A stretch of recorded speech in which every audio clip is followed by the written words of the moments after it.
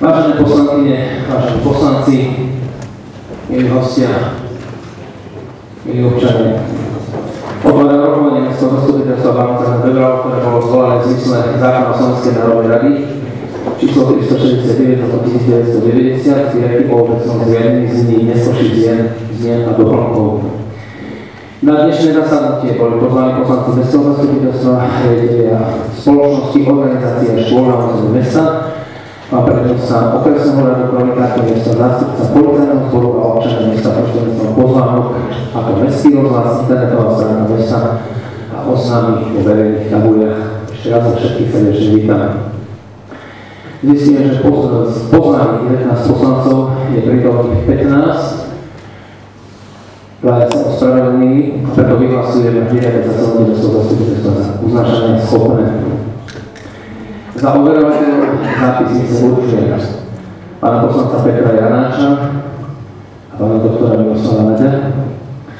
A do návrhovej komisie doporučuje pani magistratu Nadeždu Ondrejkovú, predsedkynia a za členov pani poslankyni Bolanku Kodajú a pána Ondreja Kubalu. Pristúpime, pristúpime, pristúpime k hlasovaniu. To je za predložený návrh. Ďakujem, je niekto proti. Ďakujem, zdržal sa. Konštatujem, že uvedený návrh bol jednohlasne schválený. Máme veľmi pekné nové hlasovacie zariadenie, na to budú dobre ľudia, takže ďakujem všetkých všeobecnom správy. Návrhová komisia bude sledovať návrhy na zmeny jednotlivých bodov uznesenia, text uznesenia, pretože predseda komisie na ohlasovanie hneď prerokovanie príslušného bodu. Poprosím návrhovú komisiu, aby zaujala svoje miesto. Budeme pokračovať.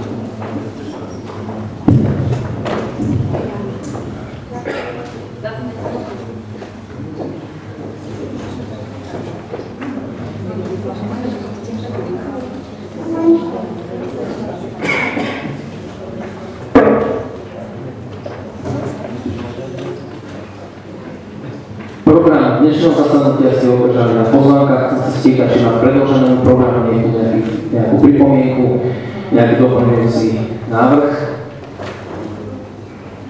Ak nie, dávam hlasovať, kto je za predložený návrh. Nepostrek, vítam poslankyňu. Takže nech sa páči. Poprosíme zvuk. Vieme sa dostať do zvuku?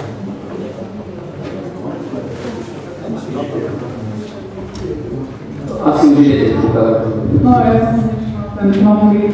Prosím, ja som teda doplnila program rokovania o čo vidím pána kontrolóra a máme v organizačných záležitostiach správu o kontrolnej činnosti za prvý pol rok 2015, ktorú sme vlastne na minulom rokovaní zastupiteľstva stiahli z rokovania, takže by sme mali prerokovať túto správu. Čiže navrhujem, aby e, plán kontrolnej činnosti, teda správa o kontrolnej činnosti kontrolóra bola zaradená ako bod 3 za správu činnosti Mestskej rady. Dobre, ďakujem. Takže dávam hlasovať o návrhu, návrhu pani poslankyne Hajšovej, ktorý je za predložený návrh. Ďakujem, je niekto proti. Zdržal sa, ako konštatuje, že uvedený návrh bol jednohlasne schválený, takže opäť pristúpime komplexne už k schválení programu dnešného uh, rokovania Mestského zastupiteľstva, takže s týmto doplnkom, kto je za predložený návrh programu rokovania Mestského zastupiteľstva. Ďakujem, je niekto proti. Zdržal sa, konštatujem, že uvedený návrh bol jednohlasne schválený, takže budeme pokračovať podľa bodov bod 2. Podobne je správa o činnosti Mestskej rady o zasadnutého mestského zastupiteľstva, ktoré sa konalo 9.9.2015 a uznesenie číslo 153 návrhu uznesenia otváram diskusiu predloženej správe. Nech sa páči.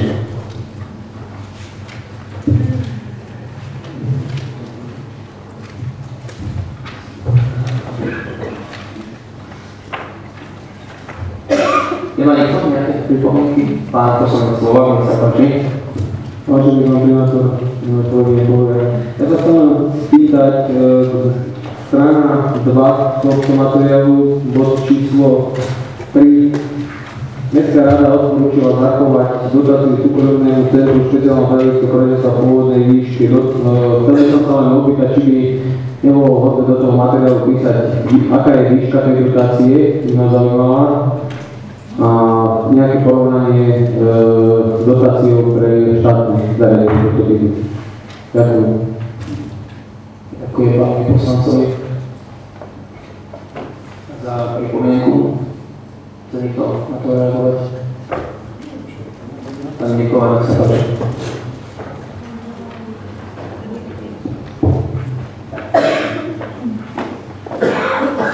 Nám sa zatiaľ hovorí len o percente, čiže zostávajú, ale ten prepočet všetko budete vidieť až pri rozpočte. My ešte teraz robíme rozpočte, koeficient na žiaka, aj tú hodnotu. Čiže tam je len zachovať, e, 88% je zo štátu, že sa musí dať.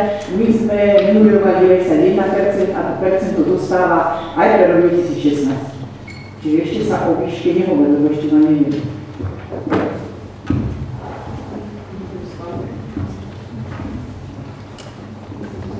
Ďakujem. Má niekto ešte nejaké pripomienky k tejto správe? Ak nie, poprosím o text uznesenia.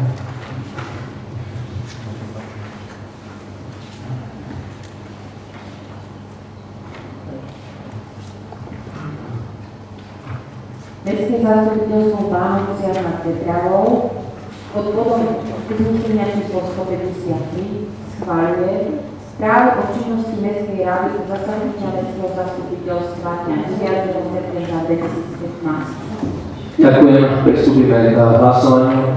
Kto je za predložený návrh? Ďakujem. Je proti? Zdržal sa hlasovania. Ďakujem. Konštatujem, že povedená správa bola jednohlasne schválená. Tak ako navrhovala pani poslankyňa Hajšová, pristúpime k bodu a teda materiálu MD Salomono 5. Pomočka 9 2015, poprosím, nalistujte si ho.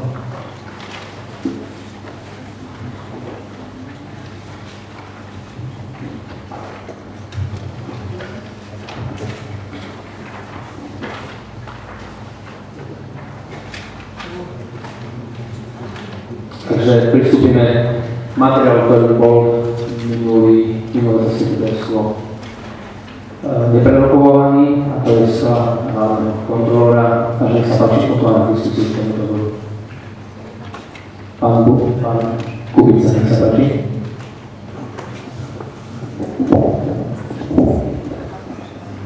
Je, je, Sekundičku, mali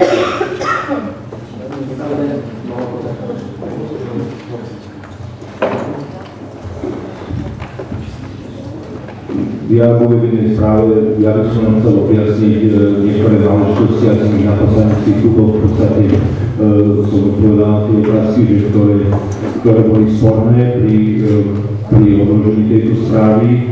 Ja len v krátkosti, že e, Mestské zastupiteľstvo v roku 1997 doporučilo, doporučilo rozsah takýchto správ na základe e, vystúpenia poslanca inžiniera Roberta Janošika, že ja v musím predkladať správy také, skrátené forme také, aký v súčasnosti predkladá. Toto je na rozhodnutí mestského zastupiteľstva, ak sa to zmení, ja budem správy robiť 10 bodov a budete mať e, tak, jak to akože e, týchto 10 bodov.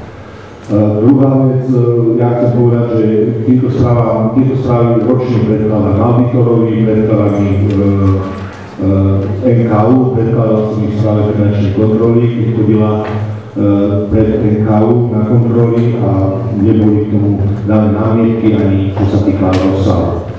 Kontrolné zistenia vychádzajú z prvotnej evidencie originálnych dokladov a uvedomujúci to, že po ich vrátení sa môžu niektoré pozmeniť, zakladám si fotokopie pre prípadnú konfrontáciu pri zápisnici, aby ste toto vedeli. To je na tomu tej správe. Všetko. Ďakujem pánovi hlavnému kontrolórovi. Máme ešte na potom myšlenku pani poslankyňa Hajšová, nech sa páči. Vzhľadom na tie kontrolné zistenia, ktoré boli zistené na uh, subjekte uh, mesta, teda na základnej škole Komenského, ja by som navrhovala, pretože táto následná finančná kontrola využívania právnych služieb mestom a zriadených organizácií a založených organizácií bola vykonaná za obdobie od 1.1.2000, od 1.1.2012 do 36.2015 a keďže sa, keďže sa tu objavili rôzne kontrolné zistenia alebo kontrolné zistenia rôzneho typu, ja by som navrhovala, aby sa opodstatnenosť teda použitia finančných prostriedkov veci poskytovania alebo zaplatenia právnych služieb organizácie skontrolovalo obdobie aj následne, to znamená obdobie po tomto termíne, lebo to kontrolu, čo si pán kontrolor si vykonával, bola do 36. roku, čiže by sa navrhovala, aby tá kontrola poskytovania právnych služieb tejto organizácii bola vykonaná od dátumu 1.7., deň, ktorý nasleduje potom 36. do termínu posledného skončeného mesiaca, čo je v tomto našom prípade do 31.10.2015. Čiže navrhujem doplnenie kontrolnej činnosti kontro, kontrolora mesta na druhý pôrok 2015 z dôvodu tých zistení, ktoré teda, e, ktoré teda boli rozobraté, respektíve aj popísané, popísané v tej správe o kontrolnej činnosti. Dobre, tak hovorím, musí byť prijaté uznesenie. Áno, to, ale chce ešte pán Jana, že nech sa páči.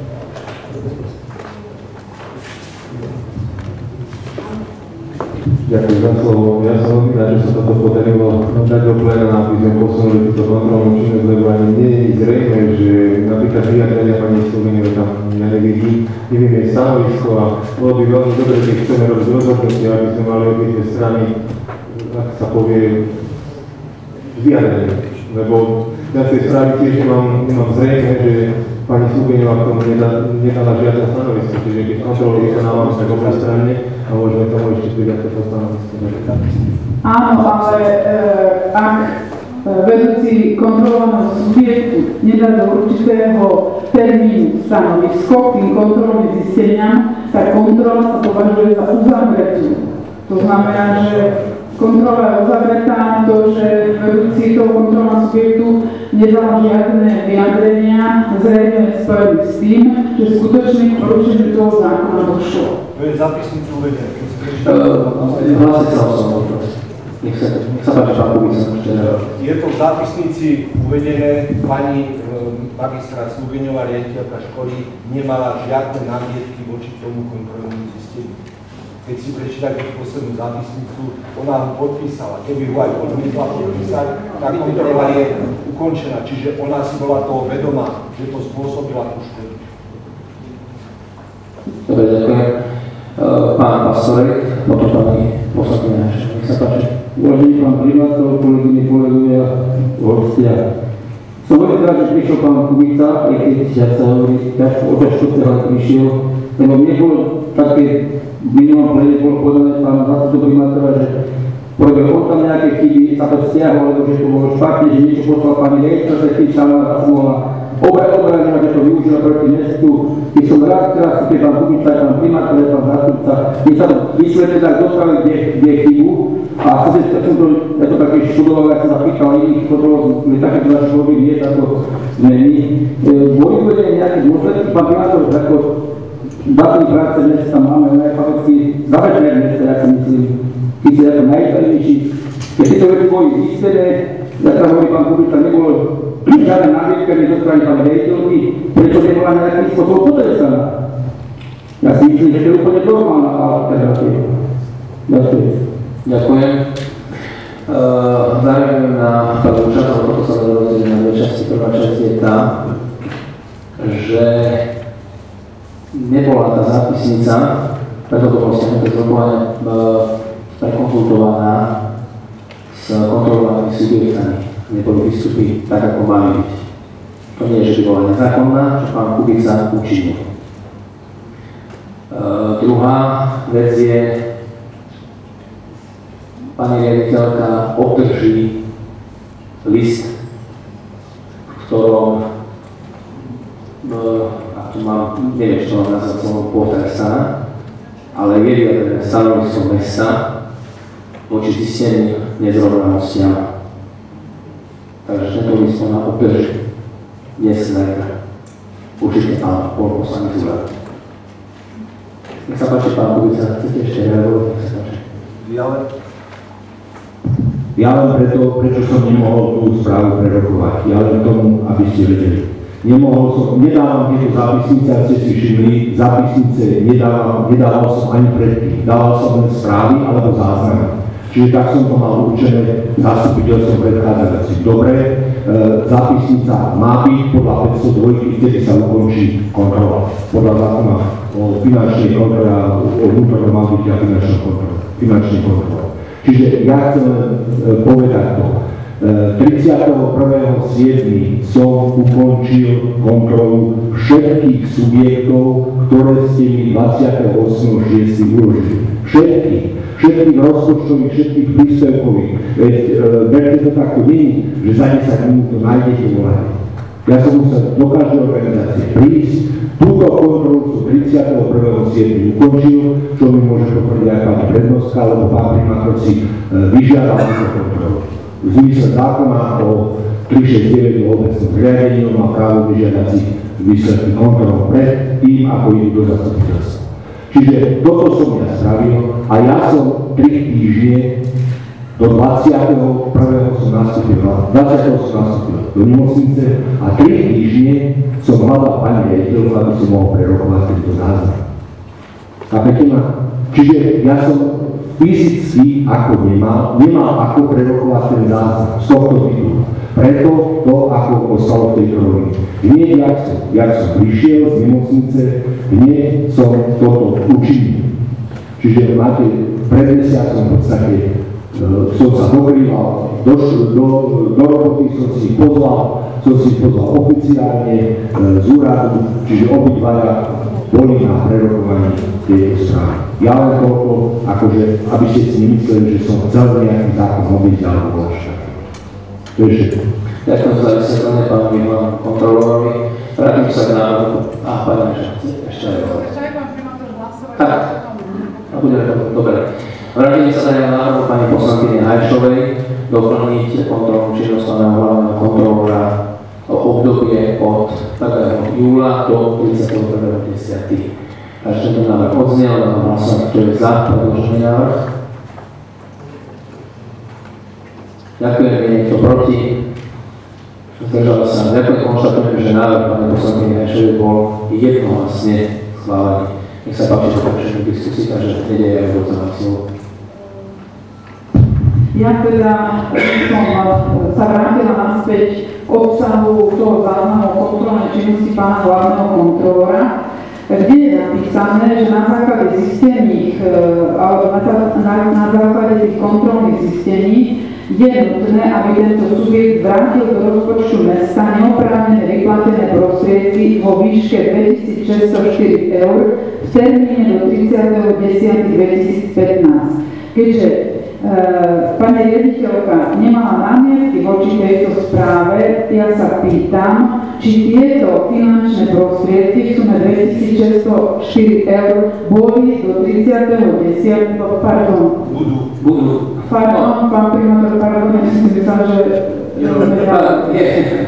Teda, Naozaj, Dobre. dneska, dneska sa ma pýtala, kde to má úrad. aha, Dnešným dňom boli uradené do štátneho rozpočtu. Nie do Do mesta a následne budú. dobre, a následne to som chcela pripomenúť, že keďže došlo k tomuto porušeniu a keby aj neboli vrátené do rozpočtu mesta, tak, roz, tak mesto, my mesto máme zapovinnosť vrátiť naspäť na e, príslušnú inštitúciu štátnej správy týchto 2604 eur a potom sa teda vysporiadať v rámci našich vnútorných e, vzťahov s, s touto Takže organizáciou. bolo učinené, tento krok je už učinený. Dobre, a ešte, keďže prerokovávame túto správu, mám primátor, dám jednu takú vážnu otázku, čo ma dosť mrzí. E, Na túto skutočnosť ma upozornili občania nášho mesta a súvisí s touto vykonanou kontrolou a to to, že na teletexte Vánovskej televízie beží jedna informácia, ktorá nezodpovedá tomu, čo sa vlastne udialo medzi radou školy, vedením mesta a navzájom.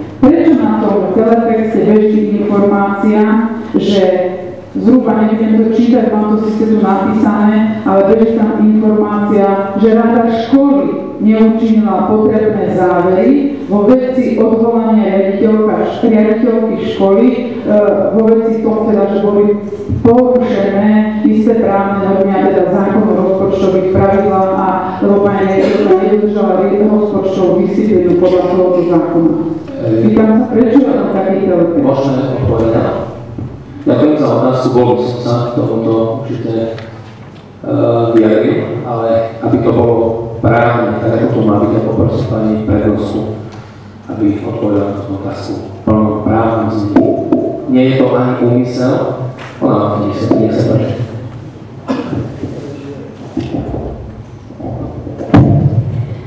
Dobrý deň. Ja už som vysvetlovala v podstate aj na jednom z posledných klubov a niektorým poslancom aj osobne a na školy to aj vedia. Keďže sa rozhodne zriadovateľ, zriadovateľ odvolať riaditeľa školy, povinný požiadať o stanovisko rady školy. Toto sme učinili a rada školy dala svoje stanovisko.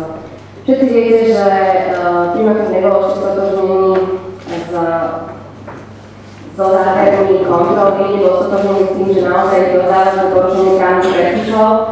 Preto váhal s odvolaním pani riaditeľky a v tej textovej správe je asi napísané len toľko, že pokiaľ e, rada školy ako samozprávny orgán školy je oprávnená aj povinná riešiť problémy na škole. Čiže aj rade školy sú ľudia, ktorí uh, sú dotknutí konaním pani riaditeľky a mohli toto na tej rade školy predniesť, čo, čo si myslím, že malo byť na tej rade školy prerokované a bolo by oveľa jednoduchšie a s oveľa menšími právnymi následkami a dôsledkami odvolať pani riaditeľku na základe návrhu rady školy, pokiaľ si to rada školy naozaj takýmto spôsobom, pokiaľ si to myslí. Je zo zákona už tedy primátor nemusí skúmať dôvody alebo závažné porušenie. Tam nie ide vôbec o to, že rada školy by mala odvolať na základe závažného porušenia právnych predpisov. Rada školy môže odvolať aj na základe toho, že si myslí, že je napätá situácia na škole alebo že sa zle vzťahy. Ona toto môže zanalizovať a v takomto prípade už zriadovateľ uh, nebude skúmať alebo dôvody, pre ktoré rada školy podala návrh na odvolanie, on sa rozhodne, či ju odvolá alebo neodvolá ale zriadovateľ musí odvolať na základe závažného porušenia právnych predpisov. A to je, to je rozdiel. Možno to rozdiel, ale ja vlastne rozumiem, čo hovoríš pani prednostka, pretože v tom celom texte je napísané veľmi jasne, že rada školy ako samozprávny orgán zatiaľ neurobila jednoznačné kroky na odvolanie riaditeľky. Urobila alebo neurobila, dala podporné stanovisko na odvolanie a to nie je jednoznačný krok. Teraz sa môžeme o tom dohadovať, či si myslíš, či je to jednoznačné, a ja si myslím, že je to nejednoznačný, ale tak ste to tam napísali. Rada školy neurobila jednoznačný krok. Rada školy len reagovala na podnet zriadovateľa. Rada školy neurobila ten podnet vlastnej iniciatívy a nedala ten návrh ona. To sú dva rozdielne právne tituly. Buď je odvolávať zriadovateľ, ktorý je povinný odvolať na základe že to vyvoláva rôzne právne dôsledky a následky. V prípade, že odvoláva zriadovateľ, musí odvolať za závažné porušenie právnych predpisov. A čo je závažné porušenie právnych predpisov, zákon nehovorí hovorí, uh, ne, to určuje až súd, ale o mnoho jednoduchšie právne, pokiaľ teda naozaj rada školy, alebo škola je tak vážne roztracená, tak rada školy by tento problém mala riešiť a mala by podať návrh na odvolanie riaditeľky školy a v takom prípade sú jednoduchšie právne dôsledné následky toho. Ja teraz vyzývam členov rady školy, vy si myslíte, tí, ktorí ste tam členmi, že ste neurobili jednoznačné kroky, že ste nedali svoje stanovisko k tomu, čo sa na tejto škole deje a že to, tento stav, ktorý je neúnosný s normálnym stavom, že sa nedá normálne pracovať, že, že sa to nemá riešiť, nedali ste jednoznačné stanovisko. Čo si vy o tom myslíte? Ja? Dobre, ja som ako poslanec členom školskej rady a Vidím, že ten paragraf, paragraf sa dá otočiť, ako to je pravda. Ale ja som ako člen rady mal to, že keď sme dostali od primátora žiadosť a bola tam tá veka, mám za to, že uvedené porušenie základ, zakladajú dôvod na odvolanie riaditeľskej školy, školy, čo som zo zákona povinný urobiť. Napríklad, ty si dostal plné stanovisko rady školy. Na odvolanie. Na odvolanie riaditeľky školy ty si to nespravil. A neodvolávajme sa na to, že rada školy mala niečo samostatné. Dala ti jednoznačné vystúpenie z toho zasadnutia, ty si to dostal. Na druhej strane boli sme ako členovia rady, boli tam aj ty, boli tam aj prednoprenostka, na ďalších sedeniach, videli sme všetci, čo sa tam na tej škole deje, ale ty si neučinil žiadne opatrenia, aby sa to nedialo ďalej. Len sa to držalo pod pokrievkou stále a stále sa to rozširovalo a rozširovalo a dostali sme sa aj do takéhoto bodu. Bude to podľa dnešných, e, to, čo už vieme dneska, čo sa stalo dneska do veda, bude to ďalšie financie stáť mesto. Som zvedavý, pán primátor, koľko to dáš náhrade. Som zvedavý, kto to zaplatí, tie veci okolo okolo toho súdu alebo okolo toho prepustenia, čo sa tam dialo. Som zvedavý, kto to zaplatí. Ja len to to dopadlo akokoľvek, ja si myslím po tejto linii, to nemenilo možná veci. Není to primátor, není. Pani riaditeľka, je mi ľúto, bude vám udelené slovo, vlastne poslancom. Takže nikdy to nemenilo na veci, myslím tom finančno, pretože ak by som taký, aký je, je to stále v tej istej polohe. Ale Eh, prečo som na tým urobil to pracovné stretnutie, nie je len tak jednoducho, áno, je tam podporné stanovisko, ale vždy bolo B a to boli dôsledky. Teraz máme v rukách iné fakty, iné skutočnosti, ktoré už smerujú k jednoznačnému rozhodnutiu. Aj tvrdenie, ktoré povedal pán Kubica, aj to, čo teda rebelo, to je, už nasvedčí tomu, že jednoznačne patrí. Komentár, ktorý bol uh, uverejnení, absolútne sa nesledovalo to, že my sme chceli poukázať na to, aká nečinná, alebo čo sa deje s školskou radou. Nie. Proste sú nejaké zákonné, ja nie som právnik, tam si povedané, sú zákonné postupy, ktoré jednoducho sú a ja som chcel v tomto prípade úplne jasno, aby som mohol rozhodnúť s relevantnými podkladmi. A to rozhodnutie určite určite. Pán primátor, môžem ešte k tomu. Ja ako poslanec sa musím držať jednoznačne záverov, ktoré som, ktoré som dostal od hlavného kontrolora. Ja nemôžem tam niečo tvrdiť o niečom inom. Keď vieme, všetci vieme, aká situácia tam bola. Ale ja ako poslanec sa musím toho držať, ja musím veriť, musím tomu človekovi veriť, ako to dali paragrafy, tak sa toho musím držať. A preto to stanovisko bolo jednoznačne jednoznačne zo 7 šiestich boli zaodvolania, ako sme neboli, nebolo nás 11, ako sme, ale bola nás tam natoličná väčšina. A sme sa všetci vyjadrili k tomu. Veď si sama od toho. To sú stále dva spôsoby. Jeden je návrh a druhý je vyjadrenie. Hovorím, že právne jednoduchšie by to bolo v prípade, keď rada školy podala návrh. Pán poslanec, my ste sa o tom xkrát bavili, ako ste, vy ste mi povedali, že vy si na rade školy nikdy neprerokovali. Mňa to prekvapuje, že predsednička rada školy, ktorá bola dotknutá, sama bola dotknutá podľa jej tvrdenia svojich práv, nikdy nepredložila na rade školy takéto niečo. Dokonca viem, že nepripustili ani rodičov hlasovanie tomu, aby pustili, aké sú problémy, aby ste sa rozprávali o aké sú problémy na škole. Toto je ten dôvod, prečo považujeme uh, to, že to konanie tej rady školy nebolo úplne správne. Pani prednostka, že vás stačí do. Ja si myslím, že rada školy není e, subjekt e, kde sa verejne vyjadrenia, ale školy na to je tam združenie rodičov školy pre takže si uvedomte. Keď bude chcieť niekto prísť, áno, oni chceli, aby boli verejne, to je niečo iné, to bere. Poslanec, zároveň ja som hovoril, že rada školy rozhoduje o odvolaní. Ale však ja viem, jasne, no, rozhoduje, dáva návrh na odvolanie, nerozhoduje o odvolanie. No tak to je niečo iné. To je niečo iné. Ale my sme sa predsa vyjadrili k tomu, tomu stanovisku, ktoré ste nám poslali, však ja tam jedno, nepreboha, nerobme sú A aj B. Na pracovnom stretnutí sme sa rozprávali o tom, aké právne dôsledky má odvolanie riaditeľa školy. Primátor uh, sa, alebo neodvolal z dnešného dňa riaditeľu školy, pretože iný právny názor som mala ja, keď som prezentovala na tom pracovnom stretnutí, iný právny názor mali moji kolegovia.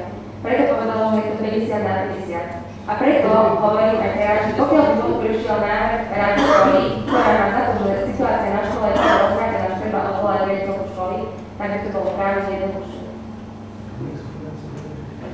A sa páči. Ďakujem za slovo.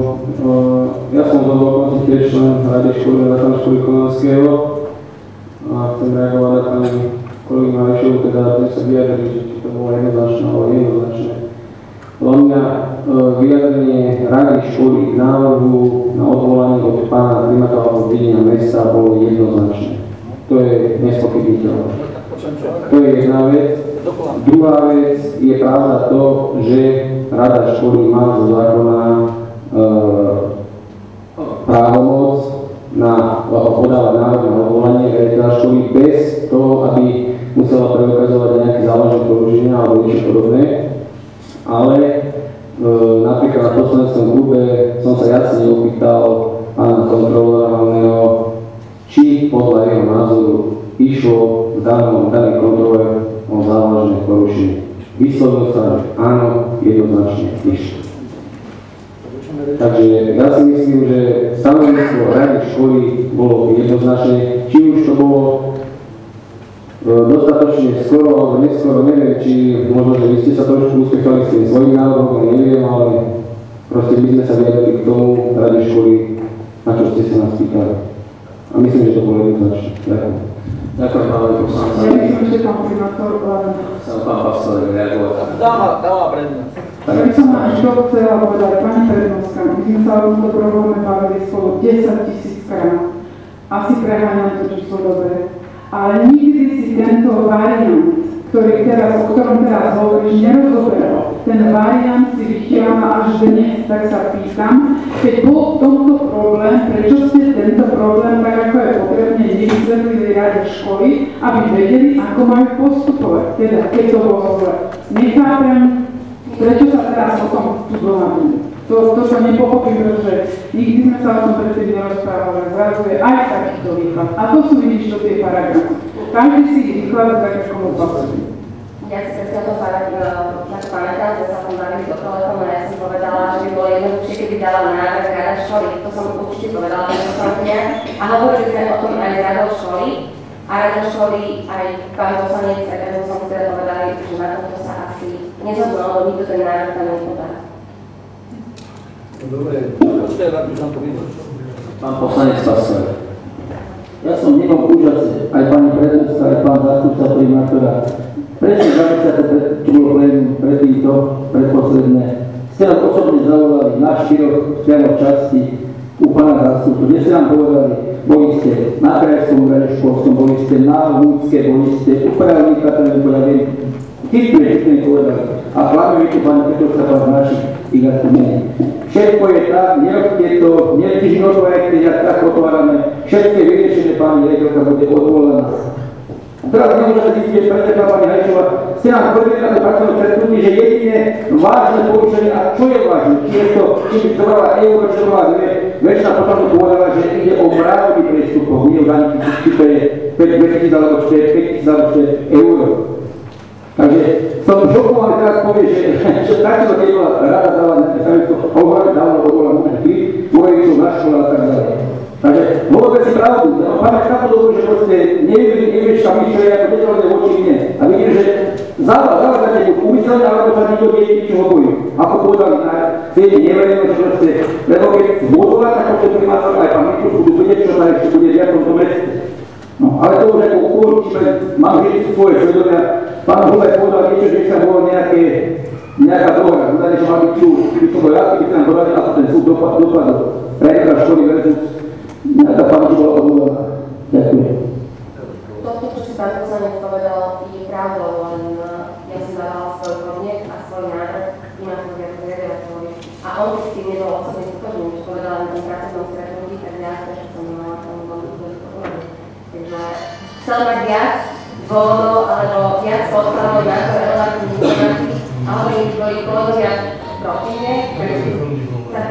ich názor. No, to je, to je poriadok, to je čest, ale keď to dávajú na to tvrdí pripravenú, ale odkaz hovorí, že keď boli oni čo aj dali, nebolo sa s tým sa nič vieť, či to bolo také alebo také. Tak, poslanec, určite sme o tomto hovorili s Rada školy a ja som dokonca o tomto hovorila aj s pani Ničitovou, ale Rada školy takéto návrh ne- jednoducho tvrdí Martina aj pán hovorí, že áno. No, počkaj, tak aj to som to robil. Dobre, e, môžem pán predseda. E, Predsa vyjadrenie tej školy boli. Bolo to len na základe toho paragrafu, ktorý tam udal pán hlavný kontrol. Na, na základe iného nie. Jedine, že by sme tam boli ozaj dodali, že tam situácia na tej škole, veď sme to všetci vedeli že aká tam tá situácia je. Veď tam bolo ďaleko, koľko tam bolo tých stretnutí okolo toho. To už ne, nebolo mysliteľné takto to riešiť. Povedz rovno, sa to zanedbalo, čo sa to zanedbalo, a na budúce sa takéto veci nesmú stávať, aby sa to stále odkladalo, niečo sa odkladá, odkladá a potom to vyhrotí tak, že tá situácia na tej škole je už neúprostná. Pán poslanec na toto odpovede jednoznačne ani môjom zároveň nie je a verím, že je to ťažká téma a nie je to tak jednoznačné a že by vybavíme niečo, ako vybavili ďalšie procesy a urobili si pajetku. To rozhodnutie je dosť vážne rozhodnutie a ja ho učiním, ako som povedal, v dohľadnej dobe určite už ho sú nové skutočnosti, ktoré sú, už je, jak som povedal, chcel som dostatok informácií na to, aby som skutočne som poškodil nechcel nikoho, takže verejne vyhlasujem absolútne uh, a dištancujem sa tom, že sme boli nečinní. Denečodne diskusie právne, denečodne nedal som pokoj, či to bol pán Uhry, ako vedúci školstva, či to bola pani profesorka, či to boli právnici, nedal som tomu pokoj. A čo sa týka tej druhej polovice, neviem, a dištancujem sa veľmi od klebiet a nerelevantných alebo nejak informácií. Jedna pani povída, čo sa so mnou stane, čo sa stane s mnou na podobe. To nemám znalosť a absolútne sa od tohoto dištancujem. Pán poslanec, a myslíte, že Tak nikto nepovedal. ak došli klebete, to žiaľ, ľudia rozprávajú všelijaké veci a povedzte sa toľko šíri kadejakých vecí, že až, ale žiaľ. To sú názory ľudí, takže to šíri takéto nepravdy, nech si ten človek stojí za tým, nech si ten človek zodpovedá, že pustí z úst. Absolútne nemám obavu, pokiaľ to má relevantné výstupy, aby som učinil rozhodnutie, ktoré učiním. Na to, ja mám čisté svedomie, ubližiť nechcem nikomu a chcem spravodlivosť. To je v tej časti B. Ešte tu. Poďte, že dobre niečo po ten súčasný, ako, ako dopadol. Ja e, nejakú relevantnú informáciu, ktorú e, by som mohol prezentovať, nemám. Ak má pani riaditeľka a to môže byť na túto otázku, ona osobne odpovedala, nech sa páči. Ak chce tomu niečo povedať, že ako to dopadlo. Ja informáciu, ktorá je poverená, aby som verejne povedať, nemám. Čo bolo dnes ja som sa venoval príprave, príprave zastupiteľstva, ale som sa naštudoval, to je dnes, tam som neboli. Mesto ako také ne- nemá záujem na tom súde. Ale No to tu bude tak ďalšie peniaze, neviem koho. Možno, že trebalo mňa, alebo pani na rektor, mesto, na mesto neprišlo oznámenie o polke a kedy sa to súd koná, neprišlo. Je mi to hamba, že na takto mestský súd je od Mestského úradu, neviem, 100 metrov, pečou chodov za 5 minút a my tam nemáme posledne súčasne sa bude domáhať v čo najkračej dobe relevantné informácie. Ďalšie to bude až v decembru, takže vykazujeme, na zase to budú A fakt, čo nevie o decembri? ďalšie to bude až v A čo decembru. s tým má plénum ďalší? Tak informácie pre poslancov, Ale ja nemám problém dať informáciu, ako som sa rozhodol aj mailom, aj s tou odpovedou, pokiaľ sú preverili a bude mať relevantný výstup, ja len ho posuniem. S tým nemám problém, nebudem čakať do decembra. A určite sa aj verejnosť dozvie, ako sa táto situácia vyrieši. A skutočne chcem to vyriešiť čo najkračom čase. Má niekto nejaké ešte otázky? Môžeme pristúpiť k tomuto materiálu, aby sme sa vrátili. Je to uznesenie číslo 163, Potrebujem rozhodnúť, čo to je to žlté, čo tam má byť. Uh, ja som to pochopil, uh, kontrolu, a dobre som pochopil pani poslankyňu, uh, oddeliť to a ten, ten tá úloha pre pána kontrolora, Doplniť plán činnosti. tak, doplniť. Ja, to nevidím, ale je to doplnenie plánu kontrolnej činnosti na, rok, na druhý pol rok 15 2015. o kontrolu si tak ďalej, doplnené o ten, tak, Na základnej sa. tak, áno. Informatívna správa sa berie na tak, tak je to uznesenie. Po A. Schváluje doplnenie plánu kontrolnej činnosti Ivana kontrola a po B. Berie na vedomie informatívnu správu, tak ako to máte.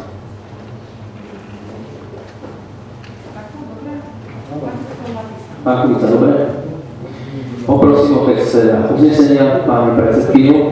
Mestské zastupiteľstvo Pánocian na Petrávov od bodu uznesenia číslo 163 za A schváľuje doplnenie plánu kontrolnej činnosti hlavného kontrolóra mesta na druhý pôrok 2015 o kontrolu poskytovania právnych služieb od 1.7.2015 do 31.10.2015 na základnej škole Komenského Pánovca na Pedravu. Pod bodom B berie na vedomie informatívnu správu o podaných a riešených stiažnostiach a podnikoch zo strany a právnických osôb mesta za prvý pôrok 2015 a plnení plánu kontrolnej činnosti za prvý pôrok 2015. Ďakujem veľmi pekne. Pristúpime k hlasovaniu. To je za predloženie návrhu body A a body B. Ďakujem. Je niekto proti? Ďakujem. Zdržal sa. Konštatujem, že uvedený, uvedené uznesenie bolo jednohlasne schválené pod bodom A a B. Poprosím vás, vrátime si materiály k začiatku, takže budeme pokračovať bodom 3. Tento bod obsahuje informatívnu správu o stave a úrovni zabezpečovania úloh oblasti opatrovateľskej služby a úrovni poskytovania sociálnej starostlivosti občanov mesta a o činnosti klubov dôchodcov. To uznesenie číslo 154 návrhu na uznesenie otvára diskusiu k tomuto materiálu. Pani poslankyňa Kodajová, nech sa páči. Ja sa ospravedlňujem, pretože som nová poslankyňa a neviem, ako to chodí. Ja som si tu správu čítala, je tu na strane 7 tých dôchodcov. V roku 2014 bol schválený rozpočet vo výške 20 075, ale čerpaný bol len vo výške 12 891 ja sa chcem spýtať, ako postupuje mesto, keď sa ušetrí. Či sa to dá naspäť dôchodcom, alebo či e, tie peniažky sa prerozdeľujú niekde inde, lebo je, tá, je to nedočerpané, je to evidentne z materiálne vplyva. Takže len otázka, akým spôsobom sa ďalej tých 7 tisíc použilo. Ďakujem odpoviem, ale tu bola by odpovedala pani ekonomka. Nevyčerpané finančné prostriedky prechádzajú do rezervného fondu v nasledujúcom roku. Oni sa nestopia, sú v rezervnom fonde. Tak ako aj z iných položiek vieme ušetriť a ostanú, takže sa dajú do rezervného fondu svojho rozpočtom financované aktivity. Nie je nikde napísané, že aj pre dôchodcov môžu sa. Pokiaľ budú potrebovať nejaké činnosti, rozpočtovú úpravu ide. Neviem, stačí taká podpora? Ďakujem. Sa do prebytku hospodárenia a ten je Nech sa páči, pán pastorek. Ja som len prekvapený zase, keď to povie, my sme strašne ma to nejako plánka, že to je nová, ale už sa nám asi dvakrát, trikrát každý rok sa, sa, sa, sa znižovali príspevky, hlavne pri mestských častiach tým klubom, dokonca, lebo že neviem, čo peniaze, že je počet členov a zistíme, že ešte to nám zase prevyšlo. Teraz sa bavili o rozpočte späť, dva týždne, kde pán náš navrhoval teda o 500 eur zvýšil, aby sa viac nemuselo, keď sa zvýši na to počet občanov toho potom veku, aby sa nemusel uberať tým dôchodom po nejakých 100 eur, skoro Slovenska na ten klub. A to podenie ako že ani na väčšia, to že to ste mali znani poslední, a aj tu aj rok, že tam nie je pamätá. Ja o tom, tom nerozumiem tejto situácii, ekonomike toho mesta. Vieme, že škrtíme podporky to malé, ktoré robia činnosť, de facto, ty to máš sami, že to pochopili. Meste to väčšinou robia na činnosti úradu, alebo proste ľudia okolo, na v rámci mesta. Ty to načíne robia väčšinou všetci sami. Vlastných zdrojov, vlastným časom, či už akcie, zajazdy, alebo nejaké tie spoločenské posedenia, robí to každý víkend, sa uhrať, keď si to aj časte naši, to je vidno, že poslední lebo sa proste vráti, nikto sa nič nepovie, a keď sa to sa vráti o tak, tak dáma, dáma ma teda po 200 eur na vyšší hodnoty, to je 800 eur, 4 kluby v priveckých častiach. Na svoj vecku ešte okolo 20 200. Nerozumiem tomu, ďakujem. Uh, je teda otvorená otázka tvorby rozpočtu, takže môžete na túto tému diskutovať pokiaľ tieto finančné prostriedky, tam sú na rozpočtu a nikde je napísané, že sa musia vyčerpať do tla v tej položke. A ak mi to stačilo na pokrytie výdavkov, s klubmi dôchodcov pracuje nejaká záhoďarská, aby to stačilo, tak je to tak, jak je to? Prima to ono stačí spôsob, lebo oni sa držia, čo, čo, čo to dostane dalo. Oni on toto nevedia, že sa vrátilo do mesta v rámci nejakého systému. My stačilo, lebo baví napríklad 800 eur, hovorí príkladne, no tak 800 menej minuli, môže povedať a najlepšie vedieť, ale od nej dlhšie, alebo nie, povedať, tak to dostať nejakú inú. Uh, opakujem, je otvorená otázka mestského rozpočtu, takže sa môže viesť diskusia. Nech sa páči, pani záležitosť, sa chce reagovať.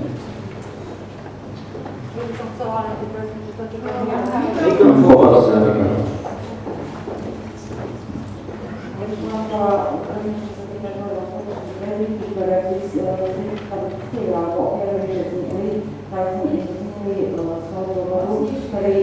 vznikli pri vyučívaní energetickej energii, vodného stočného a údržby budovy.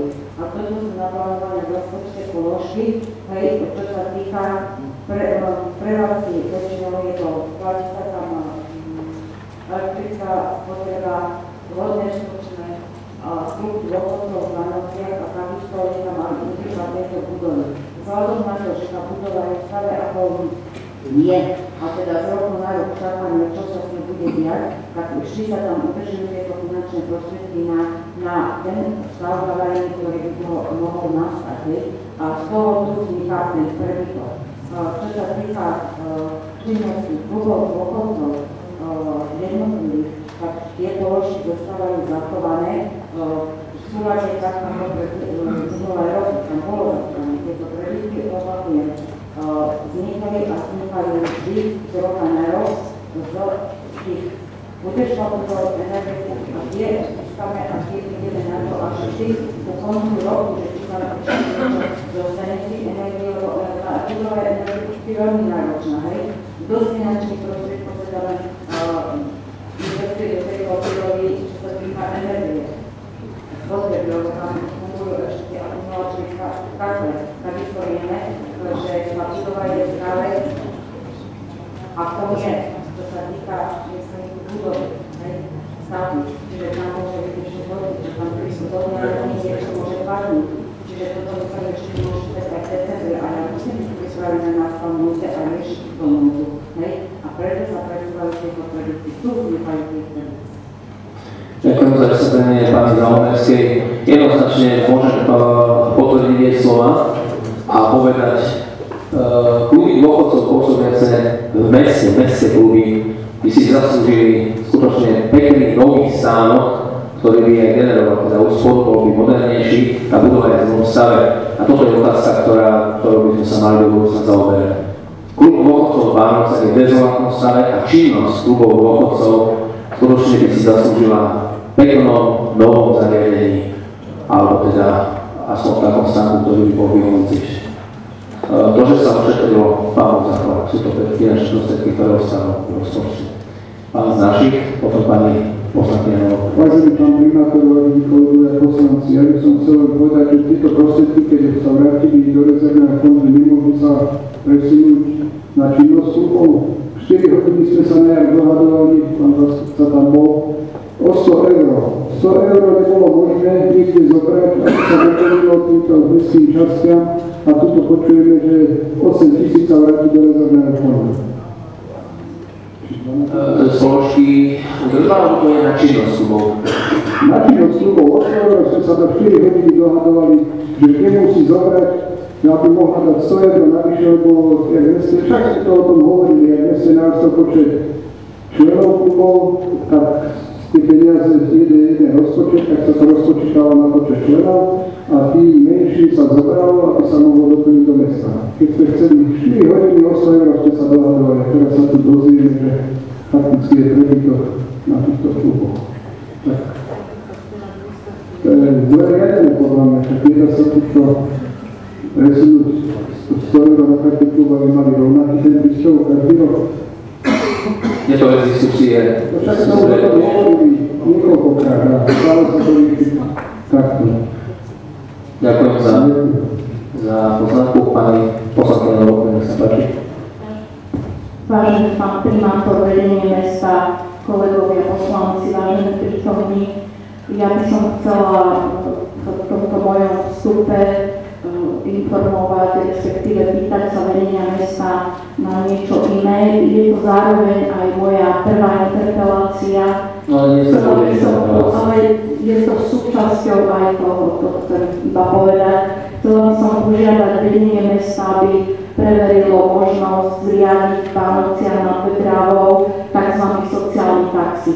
Neviem, či ste už na túto tému hovorili spolu alebo uvažovali, že takýmto spôsobom by sme mohli uh, nejakým spôsobom, takýmto spôsobom by sme mohli zvýšiť tú sociálnu starostlivosť občan, pre občanov nášho mesta, tak jak je to vypracované v tej správe. Na túto otázku odpoviem hneď. Mali sme rokovania na pôvodnom úradu aj s taxislužbami a podnikáme kroky. To znamená, že... Ak sa nájde model, áno, áno, určite áno. Ak sa nájde model na ekonomicky, ako to nastaviť, tak aby to nebolo zneužívané, e, máme to pripravené. Ale musí to byť pripravené tak, aby nedošlo k zneužívaniu tejto služby, aby fungovalo skutočne pre tých ľudí, ktorí to potrebujú. Po viacerých mestách to ktoré fungujú, takže možno by bolo dobré aj sa poinformovať, ako to funguje tam. Takže ďakujem pekne. No a druhá moja otázka sa týka e, Centra sociálnych služieb. Na konci roku 2013 sa Centrum sociálnych služieb pretransformovalo na domov sociálnych služieb a ja by som sa chcela spýtať vedenia mesta, že či máte už nejakú predstavu o tom, že čo v budúcnosti e, chcete zriadiť v rámci e, umiestňovania dôchodcov z okresu Vánoce nad Vedranou. Ďakujem. Predbežne môžem na toto odpovedať tak, že jedna bola, tak ako sme vybudovali pred 8 rokmi, ale teda nedávnej minulosti, zariadenie F90, kde je poskytovaná týmto opatrovateľská služba, tak je úvaha za štátne fond rozvoja bývania bývalo tento zákon školu prerobiť na tento účel. Cez štátny fond rozvoja bývania, aby sme chceli niečo o toto urobiť ako F90. Toto sa počína na pracovnom stretnutí poslancov, keď sme boli spomínali. Ak si dobre jasne.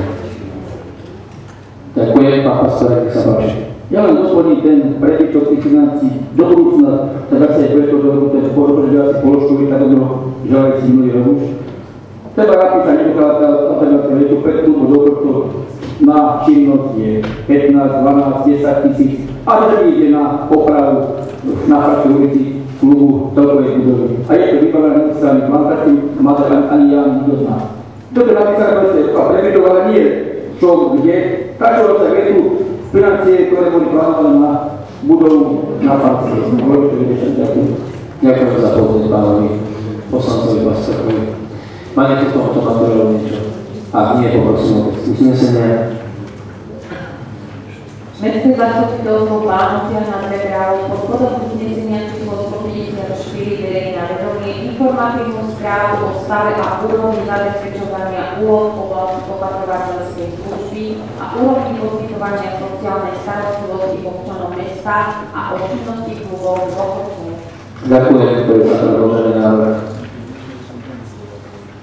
Ďakujem, je niekto proti. Sa hlasovania. Ďakujem, konštatujem, že bude alebo zákonné vedenie jednohlasne. Ďalší bod. Je to informatívna správa o stave a údržbe budov a zariadení správe Mestského úradu. Otváram diskusiu k tejto problematike. Pán Novotná, nech sa páči.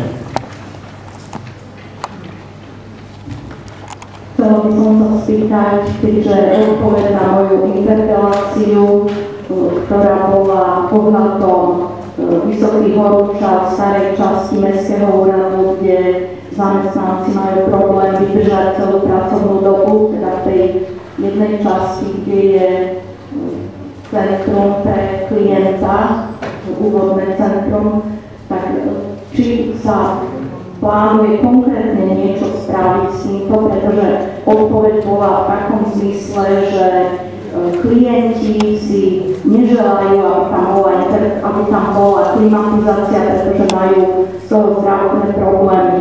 Podľa mojej mienky klienti sú tam iba chvíľu, krátko a občania, ktorí tam pracujú, zamestnanci úradu sú tam celý deň, celú pracovnú dobu, bolo tam napísané. No, možno toto je nie je to plnohodnotná informácia, možno je to názor jednej skupiny ľudí, pripúšťam, ak sa to tam dostalo. Je to nie moc a na 100% relevantná informácia a rozhodne sedím aj ja v tej budove, takže viem, aký tam je Ale všade v celej budove je to tak v tých horúčavách, ako boli to tento rok, je to katastrofa, takže rozhodne chceme vymyslieť, ako to, ako to vyriešiť.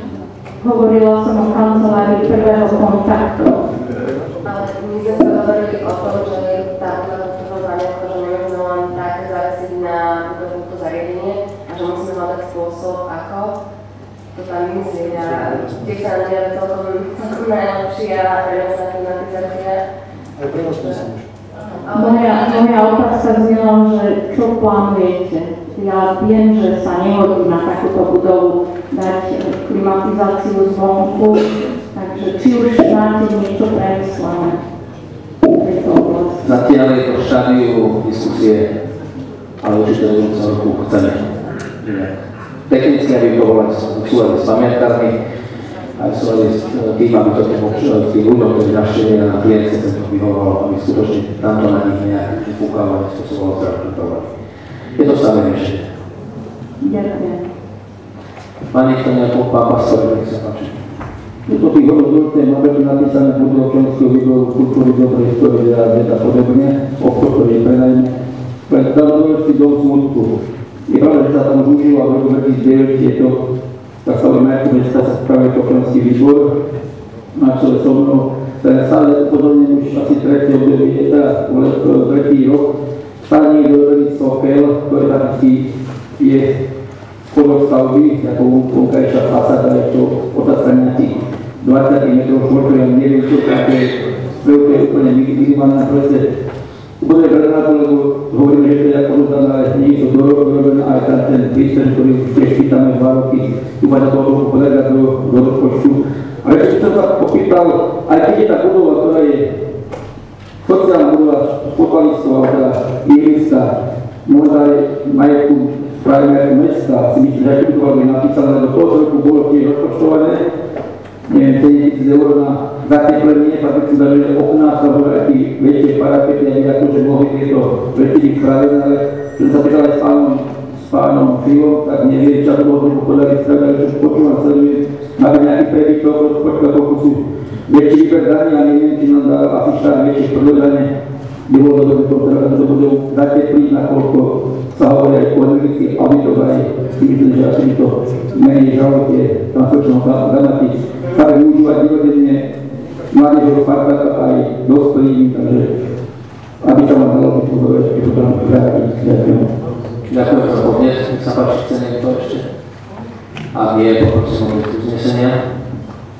Mestské zastupiteľstvo Vánocia na prepravou potom uznesenia číslo 155 berie na vedomie informatívnu správu o stave a údržbe budov a zariadení správe Mestského úradu.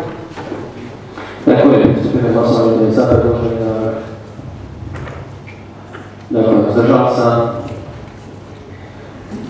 Je niekto proti. Konštatujem, že uvedený návrh bol všetkými prítomnými poslancami počas hlasovania jednohlasne schválený.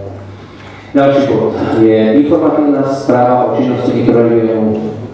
Veľmi je to zle, ide dolu z Bánovecko, ale má ten názov. A úrovni regionálneho rozvoja, takže mi sa páči pán k tomuto materiálu.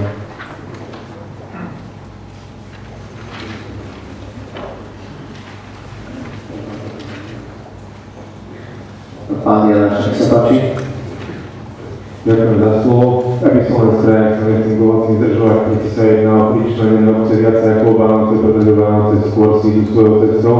A strašne mi tu chýba podiel tých, tých obcí, ktoré sú začlenené v tomto mikroregióne Vanovecko. Nevidím fakt žiadny pokrok, odkedy si zriadil informačné centrum, že by sa tam nejak e, viacej pred e, zrakmi turistov, ktorí sa ktorí sa chodia a vidia, sa niečo ďalej nie a vidí, že sa nič nedieje v tých. Že je tu napísané, čo chceme všetko robiť, čo všetko sa má, ako by sa malo, nie je napísané, kto dá to zodpovedný. Ja by som bol rád tie, tie priority rozčleniť, že takto to no, keď napíše na papier, že chceme a malo by sa, to je strašne málo, treba ich motivovať a možno, že aj nejak si prerozdeliť tie aktivity ďalej. Ďakujem. Ďakujem za uh, túto myšlienku. Uh, určite je záver každému z poslancov, že teraz začiatku roku sa pracuje na zaradení alebo žiadosti o štatút, dnes sa skupiny tie, tieto obce tiež sú zaradené. Keď sa budeme baviť o informačnom centre, mali sme kontrolu. Dá sa na kontrolu, pretože z eurofondov zrealizovaný projekt.